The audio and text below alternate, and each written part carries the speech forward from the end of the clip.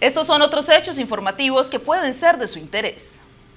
Cordial saludo para los televidentes y para ustedes en el estudio. El Contralor General de la República, Carlos Felipe Córdoba, hizo un llamado a miembros del ente de control para que de primera mano conocieran la situación de los habitantes de la orilla del río Cauca. Cerca de 19 mil pescadores se han visto afectados por este inconveniente, por el cierre de la primera puerta de la hidroeléctrica Hidroituango.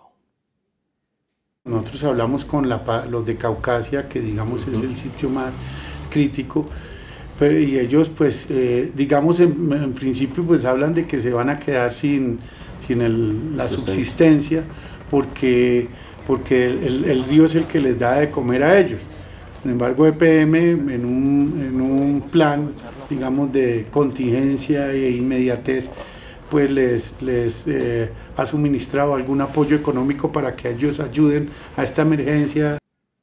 Esta visita se realizó con el ministro de Medio Ambiente, de igual manera con el director encargado de licencias ambientales.